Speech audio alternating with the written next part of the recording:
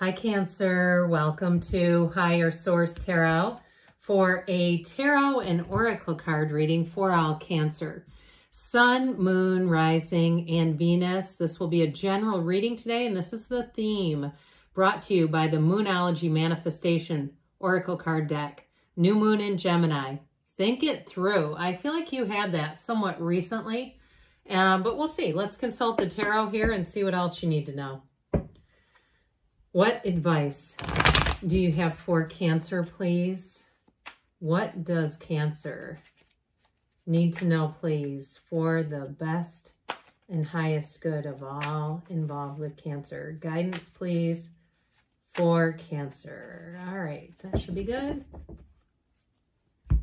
All right, after we read the cards, then we will have an Angel Answers Oracle card reading too. You've got the world right out of the hatch the Ace of Swords, the Hanged Man, and the Five of Swords. You've got the Four of Pentacles, the Two of Swords, the Two of Cups, and the Eight of Cups. Well, I do feel like if you have an issue with somebody and there's like no communication whatsoever, I feel like the break is coming to an end. Somebody, it may be reconciliation, but I definitely feel like there is a change coming in here. You have quite a bit of air energy with the ace and two right together plus this five. Um, but you also have water and earth as well. Now, I personally like this, okay? There's something about this, this change of heart kind of energy. But I'd also say, too, even if it's not a reconciliation, even if it's a job that you lost, this is going to bring you to the next level, all right? You have the hero's journey here, but I like this a lot. It's like letting go, perhaps, of what you thought something was going to be. And it isn't that to some extent it's grief, right? When we have a loss that we don't see coming, whether it's a job or a relationship or you know anything really that is meaningful in our lives, there's a period of grief. And so I do feel like this is almost like that next phase, right? The new beginning, the feeling like you can release anything that hasn't served you and you can let go of the grieving process, be done with that. And I'm not saying we shouldn't do it. I'm just saying we don't want to live there. So I do feel like you're bringing in a match, but it feels a bit unexpected to me. It feels like things took a, a turn you were not anticipating. Now remember, think it through in the beginning. I think that's part of it, but I also feel like some of it is keeping things in perspective, right? And saying there's 8 billion people out there there are more jobs. Maybe not perhaps right in front of you, but there's something more. Or even if it's a housing situation and you've said like, you know, I, the insurance, the this, the that, the upkeep, the maintenance, it, I don't want to do that anymore. I feel like there's a change of heart coming from within. And so with the world energy, this is where you just want to freeze time this is where, this is true perfection. It is a new cycle. It's celebration. She dances in that wreath of victory. This is true freedom and bliss, really.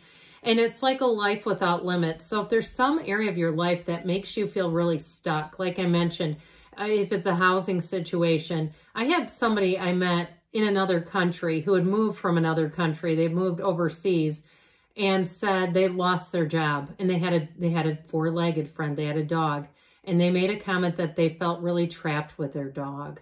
I mean, it was sad, but it was also like, you know, I think the feeling of they were feeling out of control and feeling like they couldn't get in control. And it was just like, I don't know how I even can take care of this animal right now. And so I do feel like it's almost something like that. It might not be quite that drastic, but like I said, where something that was good changed, I feel like this is where you're going to find the solutions. You're going to find the answers. You're going to have, it's like the happy ever after though. This is not, this is not a horrible solution. Okay. So, you know, with this, I do feel like it brings in freedom, like I said, and, and truly, it really is basking in the perfection of the moment. Like everything comes into place.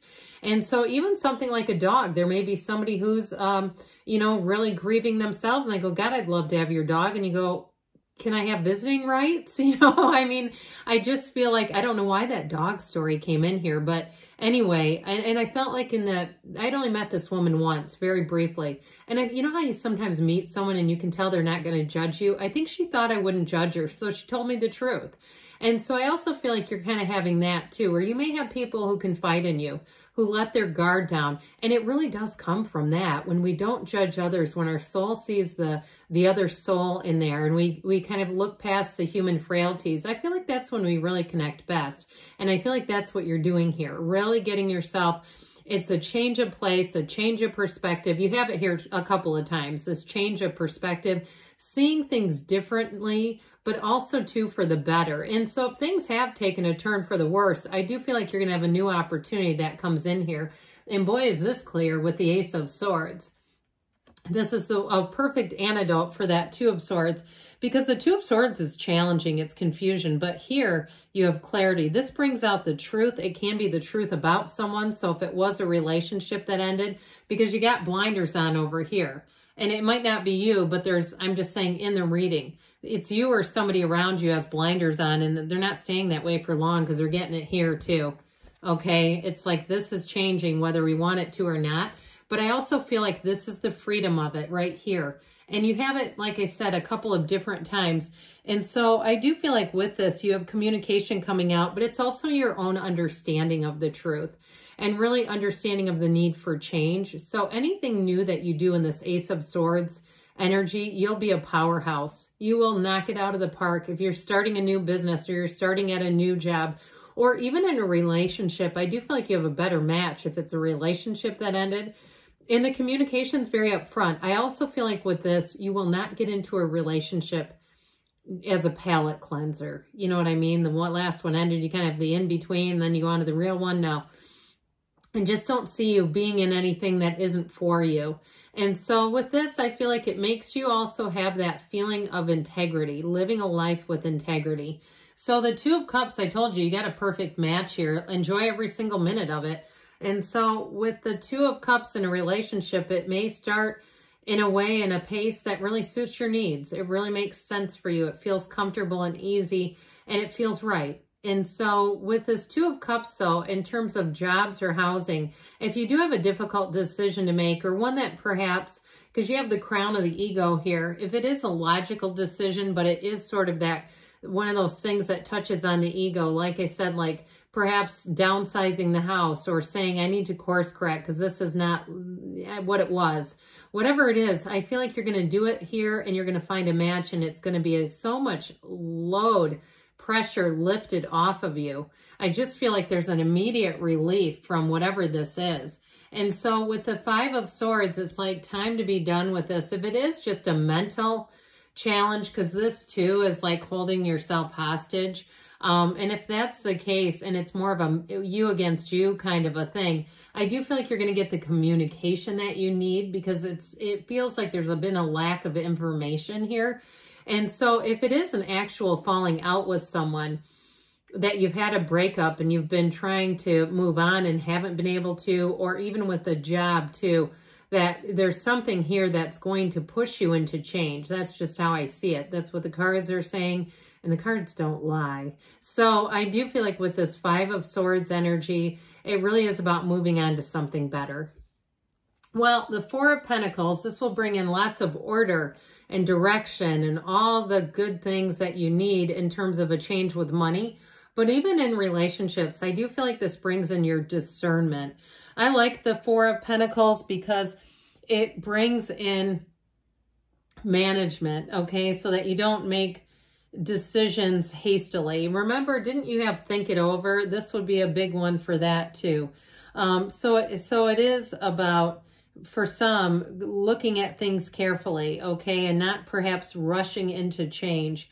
But I will say with this, it is, you do have to be willing to let go, willing to let go and move on. So if it's somebody around you too who will not let go, then that is part of it because you have it here too a bit with the Two of Swords. I mean, she's totally unwilling, but there's an emotional energy around her.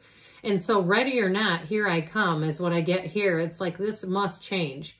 And so trying to stay status quo, trying to resist change, think it over, yes, but then take some action. It is what the cards are calling for. And so with the Two of Swords, it's a fork in the road. It could be a clash of ideas or words that you experienced with that Five of Swords. Um, but with this too, you know, she can be kind of defensive, a defensive energy. So if it's somebody that you're approaching and you find that they are just very reluctant or unwilling, then this is just not the right time to try to settle things with them. Um, and so with this, it can be that uncertainty, though, of not knowing what path to take to say, I'd really like to get this on better ground, but they're not willing. And so she's blinded. She's trapped in this. We just don't want to live here. And so I do feel like with this, there's indecisive energy around you. Somebody really just simply does not know what they want. And with the hangman, though, that reversal energy comes just in the nick of time because I do feel like it pulls you away from all this indecisive energy. So if it's you and you say, no, I'm, I'm raising my hand right here, it's me, then this is going to help a lot. And so the numbers here, 4, 12, 13 are often important here with this one. Um, but it also, too, is being open to change and that light bulb moment, that aha moment that, okay, now I see what I need to do here. You have a change of heart. So I mentioned before, if this closed off energy has been in the past, this may be the, the door opening finally. If it seems like it's been a long time coming and you're going, this is just ridiculous, ridiculous. we have to get past this. I do feel like you're going to move on to something more and better and just get things into a be better shape than they are now with the Eight of Cups here, that hero's journey is a new cycle that has you walking on to more. It has you really finding depth. And it also, if there is recovery necessary, I do feel like you're going to put the past behind you. He doesn't look back. You move on without looking back, without being chained on to previous, you know, what something was or even mistakes or forks in the road. You just move on. And so let's see now here what the angel answers want to tell you, Cancer. What else does Cancer need to know, please? What advice do you have for Cancer, please? Messages, please, for Cancer. You have helpful people coming in. So definitely if there's something needed, if it is a job change or something that maybe that new offer, and even a housing thing where somebody gives you great advice, get more information. That's the key to this all. I feel like somebody here needs information, communicate clearly. They're almost hollering at it, at this at you a year from now. So don't worry though. That doesn't mean you're going to be just sitting in muck. Okay. You're moving forward and in a year from now, this is going to be a distant memory and you've got a yes. I haven't seen that one in a while. Good things are on the way for you, Cancer. I love you and I'll be back again soon.